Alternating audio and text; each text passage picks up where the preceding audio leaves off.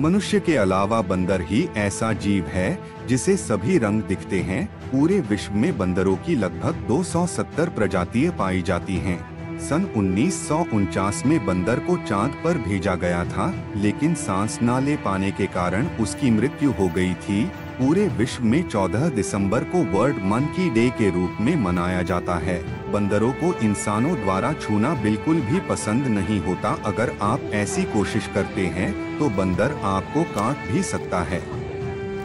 बंदरों की सबसे ज़्यादा प्रजातियाँ ब्राज़ील में पाई जाती हैं। इस देश में बंदरों की लगभग 260 प्रजातियाँ पाई जाती हैं।